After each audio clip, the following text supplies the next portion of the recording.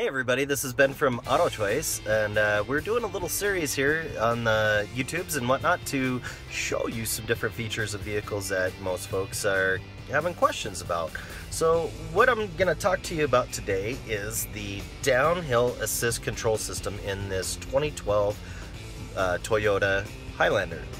Um, what the downhill assist control system does is it allows you to maintain a constant low speed at about three miles an hour with uh, steep grades of driving. So if you're going downhill and you want to make sure that uh, you're not going too fast on a steep grade and you don't want to burn your brakes up and whatnot, um, what you'll do is you will take in, I'm going to turn this around here and show you guys. So if we look down here on the console, we have the DAC button. That's the downhill assist control button.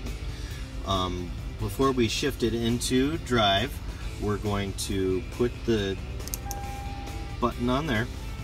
And you'll see up on the console that we have a flashing downhill vehicle. And so that's gonna continue to flash until I put this into the park mode or to drive mode and I'm gonna have to put this into the lowest gear possible. It only works in first gear or reverse.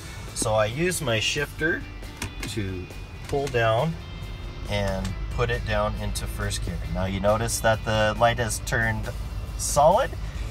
That means you're ready to go.